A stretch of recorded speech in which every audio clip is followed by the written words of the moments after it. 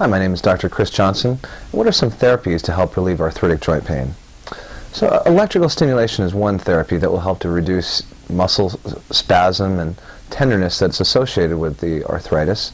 And there's also, um, with application of heat or ice, there is direct pain relief, especially through numbness when applying cryotherapy or cold.